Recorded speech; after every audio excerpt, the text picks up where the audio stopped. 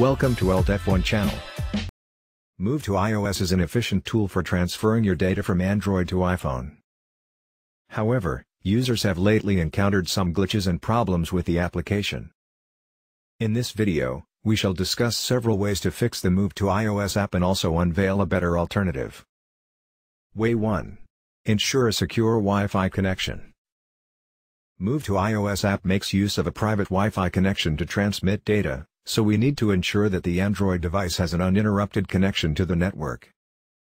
So, first of all, delete or forget all previously saved networks on the device, as it might create interruptions in the connection.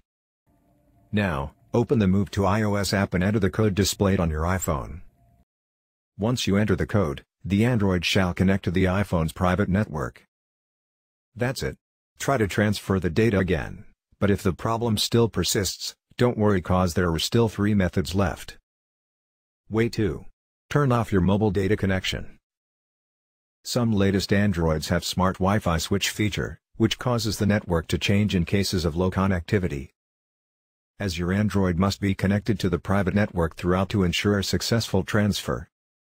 So the next tip is to turn off your mobile data. Once the mobile data is turned off, try retransferring the data again. Way 3. Check the compatibility of your devices.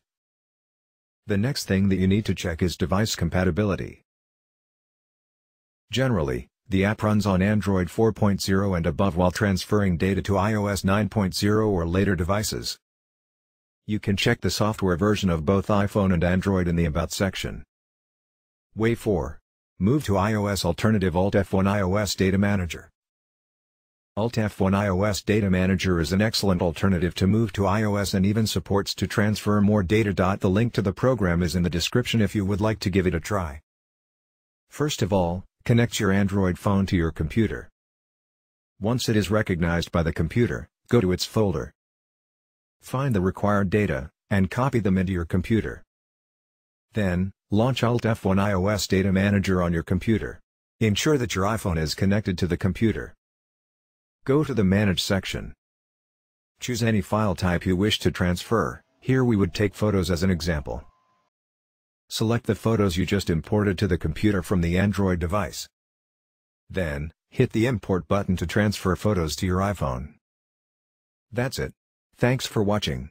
If you find this video helpful, don't forget to like it and subscribe to our channel for more useful content. See you next time.